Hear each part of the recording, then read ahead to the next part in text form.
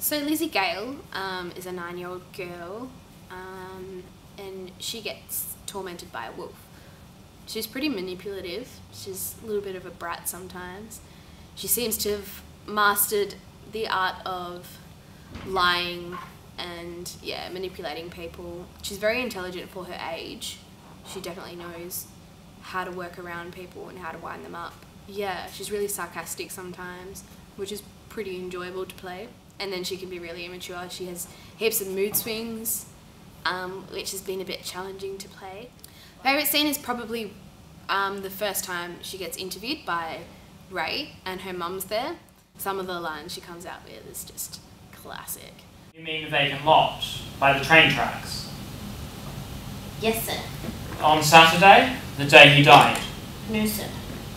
But you just said, Where'd you catch your cold, sir? From the North Pole, sir. What do Lizzie? you do?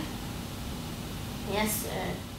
Yeah, she just really switches and then just really grinds people ge- grinds people's gears, which is pretty fun to play. No, it's a really cool storyline. Uh, it's very different. Um, it's really like dark and intense, but then there's some moments that are pretty funny. Um,